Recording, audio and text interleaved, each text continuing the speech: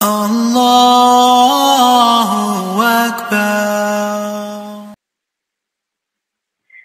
alaikum wa rahmatullahi wa barakatuh. Welcome to the Poetry Slam as part of the ICNA Da'wah Conference. Uh, my name is Kashmir Miriam and I am one of your hosts for this evening. Um, just a little bit about myself before we get into talking about the actual Poetry Slam and introducing our poets on uh, the virtual platform, Alhamdulillah. So I am also a spoken word poet myself.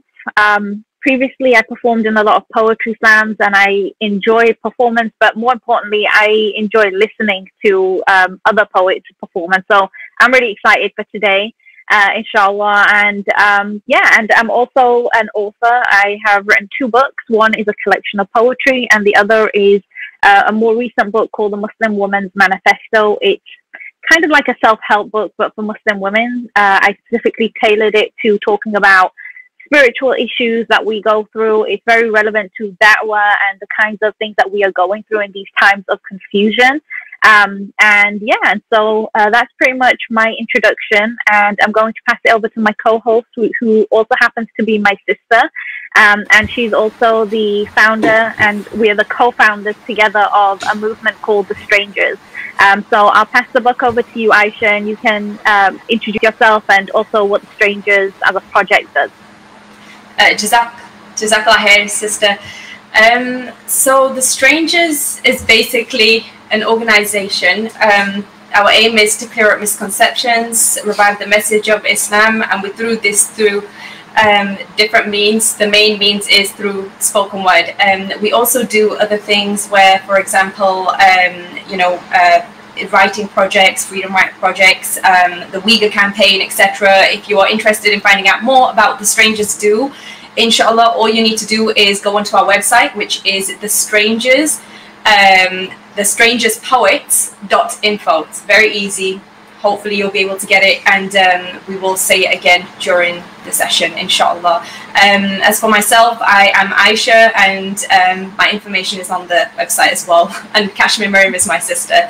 I'm really looking forward to this inshallah and um, we're going to pass it back on to Kashmir and she's going to go through um, basically uh, the rules and everything and then the next step the, the step we've all been waiting for the poets inshallah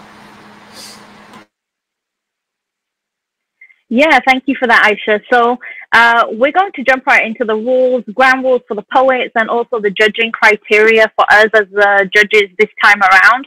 Um, because last time, Alhamdulillah, we had a huge lineup and we were very ambitious. We tried to get everyone on, but we went very over time.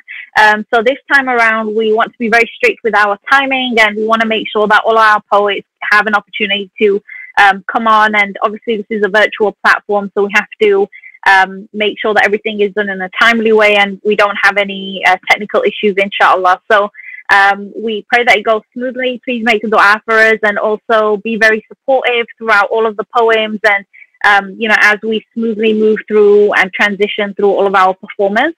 Um, so, okay, rules. Uh, they're pretty straightforward. Now, for all of the performers who are lined up and who are listening, the rules they have they're already very aware of uh, but for our audience it's pretty simple it's just each performer has up to three minutes for their poem um, we let them know when to begin it begins from the first word of their poem and we'll be timing that inshallah the second rule is that we ask that the content of the poem is relevant to the theme of this conference so it's a very general theme. You know, they have a lot of artistic freedom to talk about Islam in a time of confusion.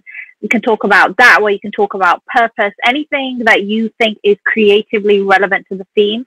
Um, and we will be looking at that when we are, you know, uh, scoring each of our performers, inshallah. Um, and the third one is just a general rule that we just hope that all of our performers understand to be respectful to one another, to, to others who are listening, um, to understand that we may have uh, young children uh, also watching who probably should be sleeping by now. Um, but just to keep the content very appropriate, no cursing, and you know, just uh, standard rules of, being appropriate. Um, and finally, the judging criteria. So, as we all know, every single time judging is probably the hardest thing. And if it were up to me and Aisha, we really wouldn't. We just absolutely try and shy away from the role of ju- of judging. Uh, but this time around, we thought it would be better for us to contribute to the judging panel just because it is a virtual platform and it's hard to have so many people and moving parts. Um, and we wanted to offer a fair chance to all of our poets without having necessarily like a ranking order. Um, and we also have opened up the platform. So we have young poets involved too. And that's really important to us because we're trying to have them creatively involved in very, uh, you know, mature and relevant discussions like that one because they offer such a powerful perspective in that. And I think that's important to have them involved. Um, so, with that being said, we do ask that. Um, you know, in, in terms of the uh, the the judging criteria, you know, for this is a, a specific message tailored to the poets. So we ask that number one that your content is relevant to the theme. That is a, a criteria that we will be looking at when judging.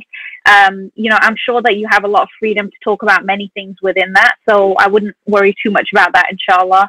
The second thing we will be looking at is your performance and your delivery. Um, so the difference between slam poetry and written poetry, um, or even uh, you know like um, reading poetry, is very different to to the culture of performance. And you know the delivery, I think, is something that really enhances your poem and your content. It allows for the words that you're speaking or that you had written to connect with the hearts and the, the minds of the people that you are talking to. Um, so just to bear that in mind and to not have to worry about, you know, who, who's watching you and how many people might be seeing you, uh, but to just focus in like as if you're talking to someone in your room that might help you with your performance um, and just to engage with the words that you're saying. That is something that we'll be looking at, inshallah. And the final category that we will be judging on is the audience engagement. So now this is a message specifically for our listeners out there. If you like what you hear, if you have a line or, you know, a poet says a line that resonates with you, we ask that you share your support and your feedback in the comment section. That is something that we will be looking at. Um, it just shows us how much that poem has connected with you. Um, because you know, as we know, poetry is very subjective. What might resonate with me might, res- uh, you know, might not resonate with someone else. But a particular line might strike you in a way that it doesn't strike someone else. So we do ask that you show your love, you show your support, and again, you be respectful in the comment section. And um, that's pretty much it. So we have the ground rule sorted. We have our judging criteria. Um, and just to let our performers know that if they do go over three minutes, you have a grace period of 10 seconds. So after that, we will have to unfortunately deduct points. Um, but I'm sure that from you know reviewing all of your content upon your you know submissions, that you just uh, that all of them should be within that time frame. Um, so without any further ado, we will be introducing. Can I, yeah. Can I add one, yep. one, couple small things? So um, as for the three minute grace period, um, now with the, I know that the performers, they might get a little bit nervous, um, but don't worry about it. Just do the best that you can do. If you go over, you go over, God willing, you know, that should be fine. Um, and we will definitely, um, don't it's not it's not the end of the world. Don't get nervous. I can i can already feel the anxiety rising right now. Don't worry about it. Uh, that's to our performers. Now to our audience um, now your role as the audience is crucial meaning that whatever you know you what, whatever comments that you make whatever likes that you give to the performers um, that's going to be heavily taken into account. Because as we said we don't have any external judges um, from my sister and i. So um, you are also the judges. So please please please take that very seriously as well. Okay so Allah Kashmir you want to introduce the next person? Sorry yes, so I believe we so I, I believe we are going back to Sister Yasmin. Yes. Inshallah, if we are able to get her on. Assalamu alaikum. Oh. Wa alaikum assalam wa rahmatullahi barakatuh. How are you, Sister Yasmin? Alhamdulillah, how are you? Alhamdulillah. We are good, Alhamdulillah, better now that we can actually hear you. Alhamdulillah. Yes. So, Sister Yasmin, tell us a little bit about yourself and what inspired your poem, the poem that you will be performing today, inshallah. Uh, well, um, I'm actually living in Virginia right now. I was born and lived in New York most um, part of my life, and uh, actually, uh, it was a topic that was uh, another contest was um, giving us a choice to write about a topic, and that's a topic that I chose to write about. So the poem is called um, "What I Like Most About Islam." So it basically talks about how uh, Islam came to raise the position of certain sects of people in society and how to improve um, the community and people in general. Okay, perfectly relevant. Jazakallah khair. Thank you so much. Okay, so whenever you are ready, you can begin, inshallah. All right. It's hard to say what I like most about Islam. Is it Allah's mercy, compassion, or the Holy Quran? It's a religion sent from God, not made up by any man. It is the truth, not fairy tales, nor folklore, nor a lie. For which of Allah's favors upon us can anyone deny? It's a religion that benefits all people and all creations, came to save the world from evil and temptations, sent as a guidance from above seven skies, as a whole way of life for those who are wise. A mercy to mankind, giving hope and aspiration, came to free slaves and give them liberation. It has given victory to the weak and oppressed, gave a helping hand to the needy and distressed. Women have been honored, treated with respect and admiration, elevating their status and improving their situation. Parents have been raised to the highest of ranks. To Allah and to them we must all give thanks. Paradise was placed under the feet of the mother, so be sure she gets priority above every other. A strong covenant was taken between husband and wife. Who is it that can resist such a wonderful way of life? We are promised a day of justice where every deed will be mentioned, where the powerful and mighty and the devil himself will be questioned. You will not be judged by your language, your color, nor your race. The most revered amongst you will be those with fearful hearts, not a pretty face. So, as long as you have Islam and follow the straight road, you will soon reach Jannah, your final abode. That's all.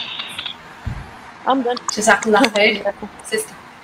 Again, um, from the it's the it's the feel of justice again, subhanallah, and I love the fact that you mentioned the relationships, um, the relationship of the mother, the relationship of the spouse, um, things, relationships which are so undervalued today. And I can tell as a mother uh, myself, as a mother, Kashmir, and you, I'm sure, as a mother as well. You mentioned your son earlier on. Um, you can you you never really truly understand that until you become a mother um, the child, and then you appreciate your own mother as well. So, just jazakallah for that, sister Yasmin. Well, yeah.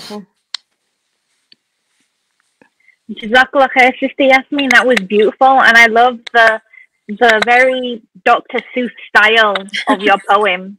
I think I think that um, it's a, a type of style that is very catchy and that a lot of people can connect to. So Yeah, I Jazakallah for tried to make it simple so even like the young people and children can understand it easily. Yeah, for sure. And I think it, it's um, in many ways more memorable that way as well. So they can, it's almost like it's like programmed in our minds to remember your words when it is in that kind of rhythmic style. So Jazakallah khair for that. And of course, your words were very heavy and powerful too. And um, if anyone would like to follow your work, do you have a website or social media that you'd like them to know about? No, not really. Okay, well, I would highly recommend it if you are. That's into- refreshing. Yeah. No, I'm just saying that's refreshing to hear. Actually, Yeah, I- Um, I- not I- that it's a bad thing, I but don't really do much of it. I mean, maybe when I was younger, I used to really like poetry, especially the rhyming ones. But it's just been a long time now. and now you are a poet. Well, I'm sure you've always been a poet, but now you're a very good poet. Alhamdulillah. Jazakallah khair. Wayyaki. Wa'iyaki. Jazakallah khair, Sister Yasmin, and we appreciate you coming on and sharing your beautiful work. Actually, going to be wrapping things up, inshallah. And the, the content and the relevance of all of the poems and just the diversity that we had in today's um, performance set. So, Jazakallah to everyone from the bottom of our heart. As the strangers, as your sisters in Islam, and as your fellow poets, we know it's not easy coming on this platform and to share your work that's so personal to you. But um, we hope that our audience also enjoyed it. We'd like to thank everyone. We'd also like to thank ICNA for hosting us on this platform um, and for making this opportunity available to our youth, to our to our whole ummah. And um, we pray that above all, everyone benefited from it, inshallah. And uh, Jazakallah khair. Aisha, would you like to add anything to that? Um, yes, subhanallah, you know, I did not expect um, the schools to be so close together. and it's very important to say it was literally by a decimal point. And um, subhanallah, like it's you were every single one of our poets. Um, your contribution, it, you know, this whole kind of uh, label of winner here, winner there. Um, my sister and I, we do personally dislike it, but the whole kind of uh, feel of competition, it just has to, unfortunately, just requires that, you know. Um, but you all are winners, and I'm not just saying that to sound cliched, but it truly is um, important that you know that that your your work and your words have made a difference to someone who is listening out there, and we truly appreciate, especially I'm calling all the way from India, some of you other people I know that you had um, other engagements as well, but you made the effort to come here, be here, share your message, and it was a beautiful message. Jazakallah uh, so much, and uh, we really hope we can work with you in the future, inshallah, future projects, and um, stay well and stay blessed. Uh, Ameen. Ameen. Okay, and with that, we will close today's session, inshallah. Uh, if you guys would like to check out more of our work, again, we will um, post more information on our website, and also you can check us out on our Instagram, The Strangers. And um, yeah, and alhamdulillah, today we finished on time. So uh, Jazakallah khair again for watching, to all of our performers, for ICNA for hosting, and Assalamu alaikum wa rahmatullahi wa barakatuh. Wa rahmatullahi wa barakatuh.